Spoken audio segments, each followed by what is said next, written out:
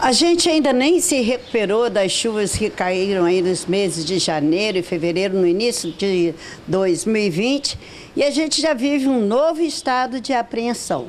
Na verdade, as chuvas que têm caído aí pelo estado do Rio, em toda a sua extensão, têm deixado bastante preocupada toda a população fluminense. E é claro, em Itaperuna a situação é a mesma, não só em Itaperuna, né, como em toda a nossa região. A gente está acompanhando o nível das chuvas, os níveis de rios, dos rios que cortam essas cidades aqui.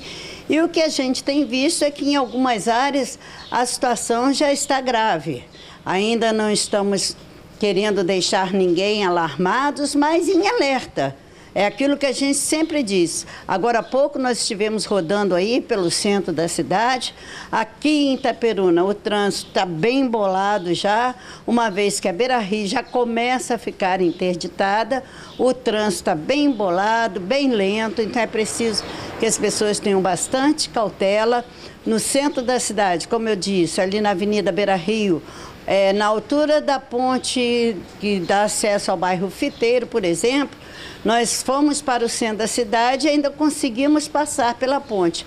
Agora, retornando, já não conseguimos mais. Então, é sinal de que o transbordo está atingindo outros limites. Ali nas imediações da clínica Doutor Fácil, até o ao Banco Bradesco, mais ou menos, também já não se passa mais.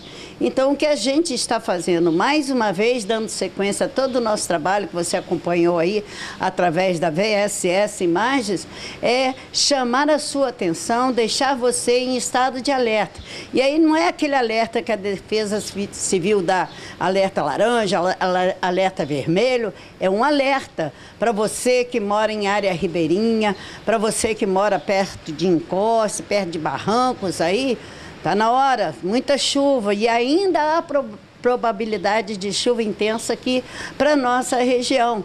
Nós estamos aguardando ainda mais chuva, parece-me que em mais intensidade do que as últimas que tivemos. Então, vamos ficar alertas. Você que mora nessas áreas de risco, aí, ó, vamos começar a subir móveis, se possível, procurar ajuda de vizinhos, de familiares e, se for o caso, se necessário, procurar a Defesa Civil do nosso município, que já está a postos, com certeza.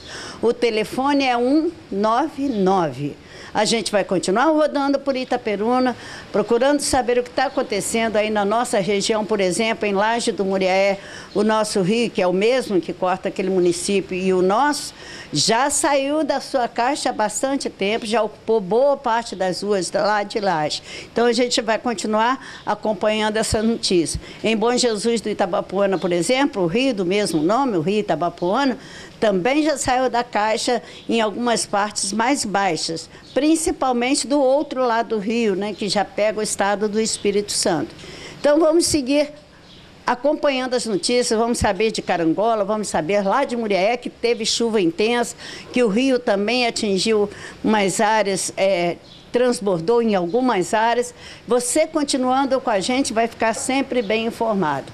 Eu sou Rosângela de Souza. Essa é a sua VSS Imagens, o seu canal de comunicação. Até a próxima.